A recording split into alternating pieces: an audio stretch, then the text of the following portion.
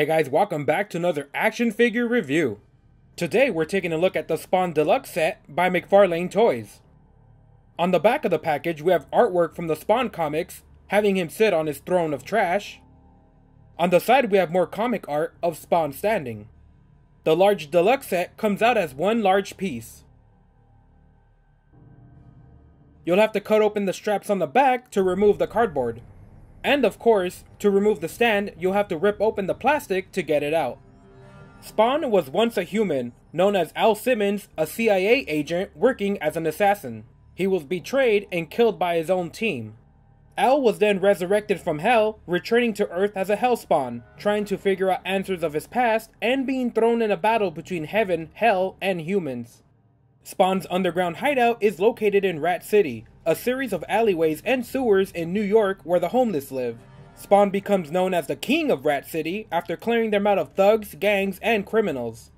Over time, Spawn adds more and more trash to his throne, leading up to the version that comes with this figure, inspired by the issue 250 alternate art. Let's check out the details. Spawn's black symbiote suit wraps tightly around his head, leaving small wrinkles in the skin. The eyes glow green with demonic powers, with dark eyeshadows darkening the area, making him stand out over the white blades on his mask. On the side we can see the smooth back of the head, with minimal details other than some muscles in the neck. Spawn has the classic white stripes on his chest, with this version being more sharp and a clean design. The black suit emphasizes the muscles on the body where we can see the details in the sculpt like large muscles and their fibers. On the back we can see more tight muscles in the sculpting with a small hole at the center that we will be pegging into the cape later on in this review. More large muscles on the shoulder with the left side being wrapped around a red armband with silver spikes. A large red gauntlet covers the right arm, layered over each other with red plates and more silver spikes coming out of it. On the left arm, a smaller piece of red armor is wrapped around the wrist, with spiked knuckles on the hand. We have a large chain belt on the waist. A skull-themed belt buckle secures the chain link silver belt at the center. Another skull at the center holds up the belt on the back, where the white stripes from the chest meet up here.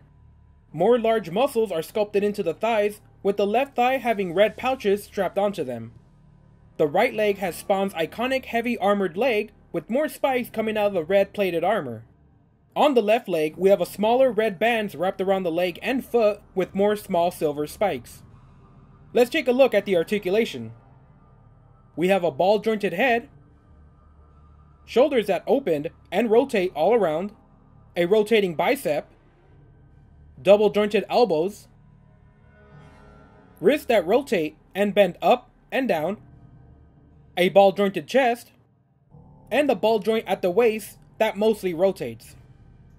Legs that open and bend forward and back, rotating thighs, double jointed knees,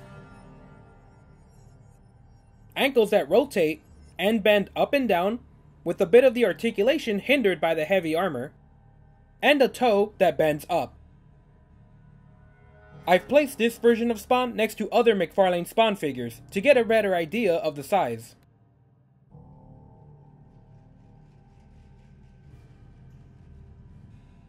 The large detailed trash throne comes mostly pre-built with only having the top piece needing to be installed. The throne is able to be taken apart and rebuilt, with the small tattered cape being able to be removed. Spawn fits on his throne tightly, with that small tattered cape piece giving it the appearance of a much larger cape. We get the upper section of Spawn's cape made of a rubbery plastic with a small silver chain holding it in place. The cape installs easily onto the figure, with the large peg fitting securely onto the back. And we get the standard McFarlane stand with the Spawn logo on it. The Spawn Deluxe set is a fun centerpiece to add to your collection. The throne of trash Spawn keeps adding to in his underground hideout is a unique accessory and something we really don't see other toy lines doing with their figures.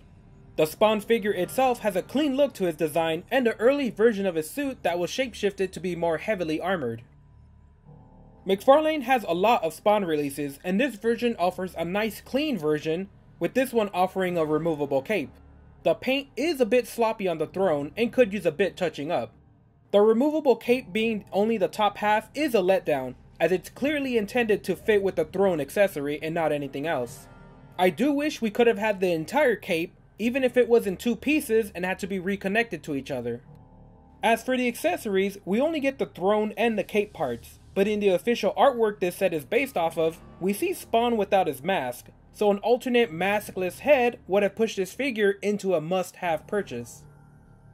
This Spawn Deluxe set pushes more towards the centerpiece area, where it's a more of a set and forget type of collectible, and not something you repose over and over. That being said, Spawn's Throne of Trash is an important part of the character, and an amazing accessory that you'll want to put at the center of your Spawn collection. The actual figure that comes with the throne is fully posable and has great articulation on its own. I've seen other companies sell their own accessories apart from their figures, so for the price, the value is sort of there. So if you're a hardcore Spawn fan or just want a clean looking armored Spawn, this is a good set to pick up. Just make sure that you have some accessories or a third party custom cape for your Spawn if you're planning on having him not sit on the throne. He is out in stores now, but if you're on the fence, you might want to wait for a sale. Alright guys, that's it for this review. More reviews are coming up soon, so check out my other videos or leave a comment while you wait.